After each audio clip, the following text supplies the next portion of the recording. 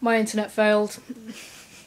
So uh, that means the event is over. We raised um, how much did we raise? We only raised about. Hang on, let me find out. Scrolling through, just from five hours, or was it three or two? We raised twenty four quid, and that's going to go to charity anyway. So thank you for everyone who joined. Sorry the event had to end quickly. It's just that my camera, my camera, my internet wasn't holding up. So we'll try again again, I know, next year. Thanks for watching, thanks for donating if you did. The £24 and 17p will be going to doing it for the kids charity. I believe one person's going to give me the money sometime else, so we'll be able to do that. Thanks for joining.